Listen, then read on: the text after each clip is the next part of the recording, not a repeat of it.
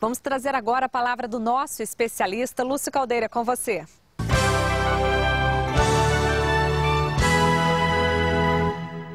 Olá, produtor e produtora de café do Brasil. Alguns estudos mostram a estratificação dos produtores olhando sobre o critério da produtividade. De acordo com esses estudos, 5% dos produtores apresentam produtividade menor do que 20 sacas por hectare. A grande maioria dos produtores, 80% deles, apresentam produtividade entre 20 e 30 sacas por hectare. E 15% dos produtores que são mais produtivos, apresentam produtividade acima de 30 sacas por hectare.